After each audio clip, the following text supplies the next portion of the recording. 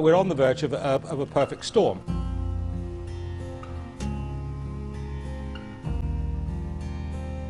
Enormous uncertainty about the future of our financial markets. The debt crisis in the banking sector has now turned into a wider crisis.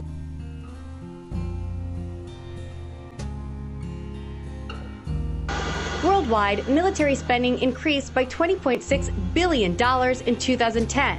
While other areas, including healthcare, education, and infrastructure, are all on the chopping block.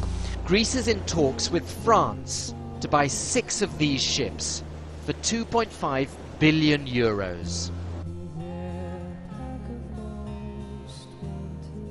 US fighter jets launch fresh airstrikes on Colonel Gaddafi's defences. The leading voices for NATO's action in Libya. 80,000 civilians in Sirte being bombed by the NATO and uh, TNC forces.